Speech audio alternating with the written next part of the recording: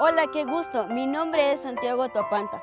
Tengo 19 años y soy de Quito, Ecuador.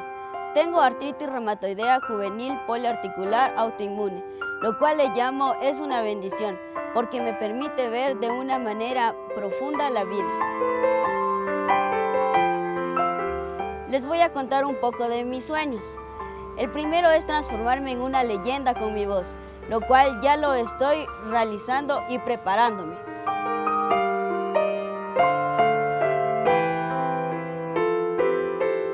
El segundo es transformarme en un gran cineasta para realizar una película con mi propia historia.